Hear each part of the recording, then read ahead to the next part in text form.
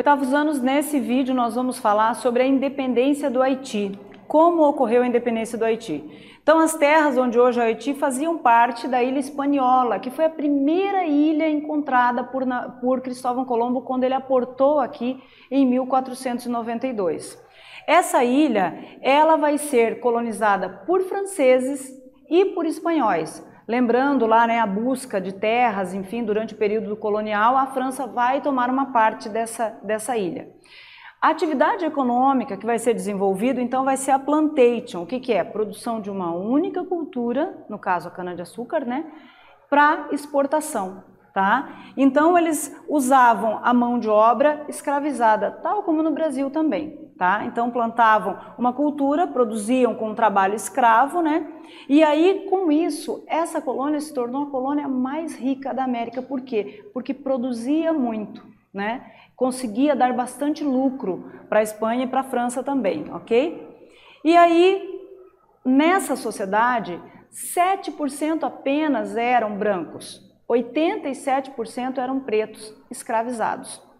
E esses pretos começam a se revoltar por quê? Por conta dos maus tratos, porque a elite branca vivia muito bem, tinha uma vida luxuosa, ao passo que os escravizados sofriam maus tratos, fome, doença, e aí começaram a se revoltar. Mas por que, que foi possível essa revolta? Por conta da Revolução Francesa.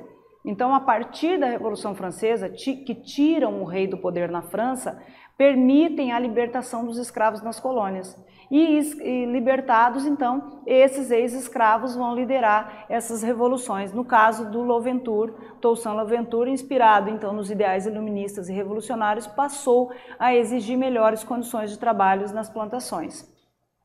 E aí vai começar essa revolução, ok? Veja, com o fim da escravidão nas colônias francesas, Louventure, Louventure assume então o poder na parte ocidental e aí passa a ocupar a parte oriental também e toma a revolução toma conta de toda a ilha, né? Só que o Louventure, ah, quando Napoleão Bonaparte assume o poder na França, ele vai voltar a permitir a escravidão nas colônias. Com isso, ele manda um destacamento para cá de 25 mil homens, prendem o Louventure, levam o Louventure para a França onde ele é preso, torturado e morto, né? Mas a ideia da revolução já havia sido plantada. Então veja, é, é uma, uma, um processo em que os escravos e ex-escravos né, não se permitem mais a ser dominados. E aí até o Louventure, antes mesmo de ser preso, ele acaba tendo problema. Por quê? Né, porque a elite reagiu, a elite branca reagiu a essa revolução, os mestiços havia uma, havia uma desconfiança, e os pretos ex-escravizados não libertos não queriam trabalhar nem de forma livre para os seus ex-senhores. Então ele sofreu com isso. Depois ele é preso, vai para a França, é torturado e morto, mas o Dessalines assume então a revolução, continua com essa revolução, declara a independência do Haiti em 1804, só que o Haiti sofre um bloqueio uh, comercial, enfim. Por quê? Porque era uma revolução feita por, por escravos. E isso poderia é, ensinar ou servir de orientação para os escravos em outras colônias. Então surgiu o medo do haitianismo, que os escravos se rebelassem e tomassem o poder.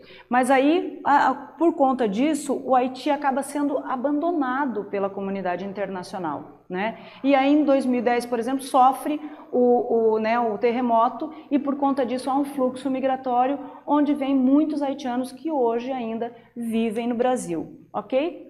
Foi isso que nós falamos nesse vídeo. Espero que vocês tenham gostado e até a próxima.